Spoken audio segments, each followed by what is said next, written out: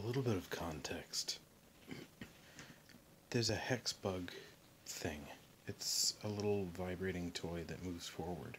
Jade puts it in this toy and has it move the ball around. So that's what Grace here is used to. Grace just killed a real bug. And after sitting and thinking for a little while, she put it in the same toy. And now she's waiting for it to start shaking around and moving her little ball.